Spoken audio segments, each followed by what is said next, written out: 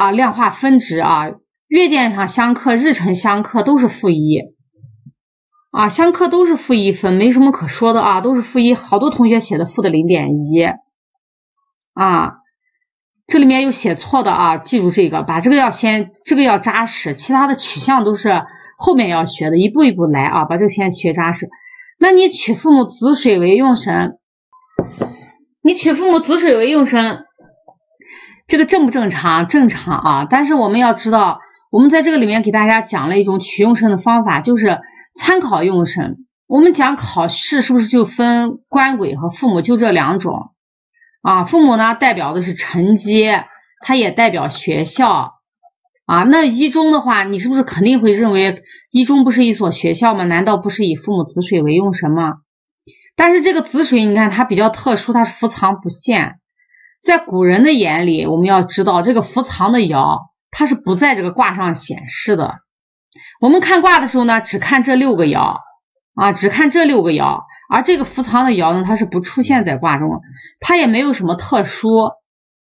没有特殊是什么意思？它既不寻空，也不月破，也不被日辰冲，它只是月被月见日辰相克而已，这个就不算特殊。我们讲的找的特殊的爻是指空破木之类的，对不对？啊，所以说这个父母子水呢，我们通过这个上面看呢，我们很容易把它找成。但是呢，参考用神官鬼申金呢，它是作为一个参考用神，就说在一个卦中，参考用神呢非常明显，它处于发动状态啊，这是发动，而且化进神。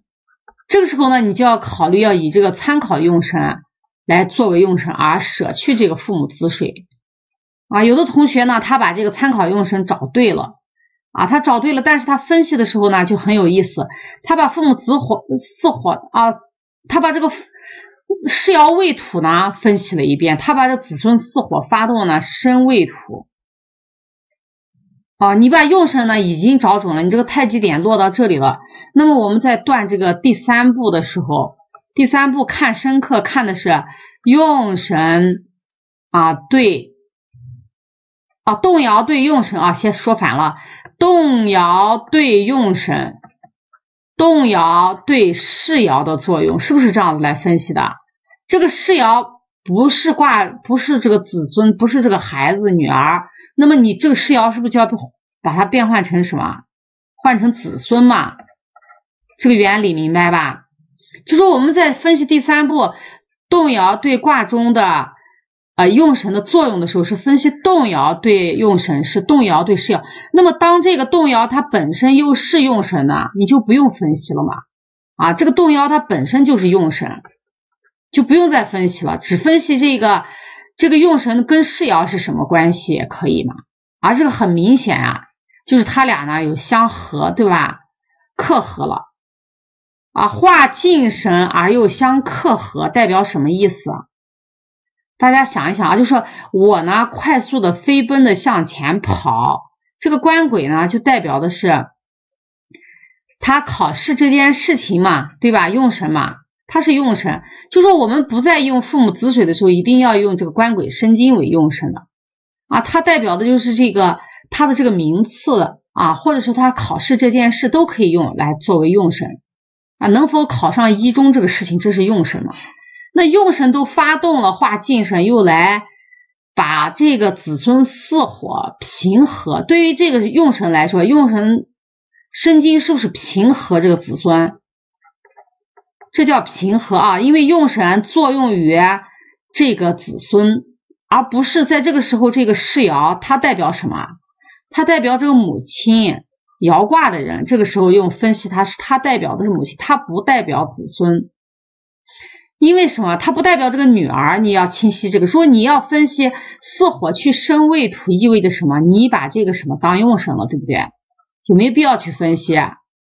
没有必要啊！记住，一定知道我们那个看深刻啊，那一步骤，让大家按照这个理法步骤分析，一定是分析的是动摇对用神，动摇对事爻啊，一定分析的这个。其他的你不用看，再看的话你就掉到那个怪圈里，深深刻刻的怪圈里。没法自拔了啊！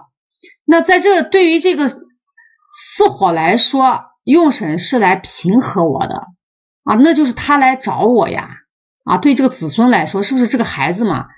那他来找我和我，就是他来找我了，而且拉着我呢画精神，能不能这么解读？画精神，你想想，就像一个人啊在跑步，这个人跑的特别慢，但是呢有一个跑的特别快的人，他画精神，他以每每分钟啊多少有。几百米的速度往前跑，而这个人呢，一分钟确实才跑几十米的状态。那么他拉着他跑，合了他跑，拽着他跑，这往前跑，用这种方式跑，他能不能啊考上呢？可以啊，这个卦是考上根源。理法在是因为用神生金化进神，而巳火呢，它是什么状态？未月，它有月气。有的同学断呢，它已经是有月气的，然后又说它是衰败的。啊，然后呢，有的同学断是似火入了戌日的木库啊，我是在今天讲课前才看大家写的作业啊。这个因为新同学没有学过，不知道动摇入不入这个日辰的木库啊？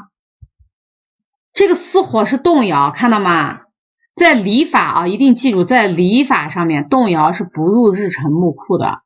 你去怎么解读这个动摇？它发动着呢，你拿一个啊一个框子把它照一下。啊，你拿一个板板房把它啊扣一下，想把它想把它捆绑住，绑住不能动。这个木库你可以把它理解成绑住它不动，不让它动啊，关起来或者叫关起来吧，木库叫关起来更合适啊，关，把它关起来，关到一个铁皮板房里。而这个火呢，它是发动的，你这个库呢是安静的。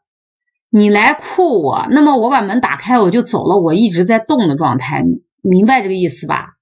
就相当于像一个一个人呢，他会上蹿下跳，你你你这个房子有有门缝啊，你比如关，你想用一个铁皮板房把一个跳蚤关到里面，木库里到里面，那个房子里面它到处都是缝隙，按跳蚤的这个身身材呢，它是足够从房子缝隙里都能钻出去，你这个库有没有意义？所以。日辰是不木动摇的，在礼法上啊，日呢是不木动摇，记住，它木不了啊。你到生活中来解读，也是一个发动的爻，你是不进库里的啊。那这个日辰到底木什么？它只木进爻和扶爻啊，记住，日辰只木进爻和扶爻啊。如果这个地方的这地方是个巳火。啊，伏藏的巳火，那么它入这个虚的库啊，这么来看啊，这叫理法层面的。不懂的呢，先去看那个高级课程里面木库啊，时不时的要给大家发一些就是关于整理笔记的内容。我发现啊，看卦看了是其一。好了，这部分内容呢就讲到这么多。那么这个巳火化尘土是不是不生不克呀？不生不克，我们是不是不用管它啊？被日辰相冲，冲也没有破，那么这个爻是不是还是有用的爻？啊，如果变爻不破，记住一个知识点啊，变爻不破就意味着什么意思？什么含义？就意味着这个巳火呢是有用的，它没有变废。那要是你要断它考不上，你肯定就会认为子水伏藏不限啊，月日相克，负一负一，然后呢，飞神又来克，飞神克用的是礼法还是用的相法？大家说一下，飞神未土来克，用礼法。大家回复一，用的相法，大家回复二。未土来克子水，就是你第一步、第二步、第三步啊，特别是第三步，第一步、第二步，大多数人都能断个差不多。就是你在取用神的时候有点难，因为大家在这个现在阶段，我就教给同学们讲什么叫客观取用法。那你通过这一个卦的知识点呢，你就知道什么叫客观取用。就是我们原则上是以父母为用，但是这个卦中参考用神在这里明动，而且化的进神，这个时候我们就要舍去我们主观的取用的父母子水代表学校，而用这个官鬼申金呢来代表这个学校考试这件事情了，考一中这件事情，这就是啊一个知识点，这叫客观取用法，根据卦象上的显示来取用神，这就叫客观。客观就是不以我们主观为依据，我们大脑中的主观想法，就是我认为的，这叫主观。就是我们给大家之前讲过的六亲取用这一种啊，考只要考试，通通以父母为用神，好，这就叫主观取用神。那么我们现在用的就是客观群，客客观就是排除我认为的，把这个我撇开，我们就整个从上往下眼睛呢这样来看，我的眼睛呢是这样的啊，整个来看这个挂腰啊啊，这个鼻子也画的太夸张了啊，是这样的一种状态，眼睛呢是这样看，这就叫客观取用，一百二十度。啊，放开我们的眼睛的视线范围就是一百二十度，这样看用取用神，而不是以我大脑中的主观，这就叫主观和客观啊，把它区分开。第三步呢，看这个深刻，一定记住啊，这个知识点，动摇对用神，动摇对动摇对世爻，动摇如果不是这个世爻代表是他的母亲，不是女儿，我们就分析动摇。跟这个女儿之间，这个世爻就要变变成女儿了，这个明白了吧？啊，这要灵活一点了，其他都不要去分析它，不用分析，而且根本不用去分析女儿跟世爻之间的关系，你取细节不用取象啊，不用去取象。我们在断吉凶的时候，不存在这个巳火去生未土这件事，根本不能出现在在第三步这个这个深刻关看深刻的关系里面。那么第四步断完吉凶，断能考上啊？原理是什么？理法层面呢，就是因为用神化敬神，而且用神的来平和这个子孙，子孙自己也发动着呢。那么他自己的意愿度也很高，这个里面是小孩自己也愿意去。那么克合是有的同学说是，呃，孩子不是太情愿去这所学校。啊，自己发动，还对于这个孩子来说，这个四火发动也与这个申金相克合。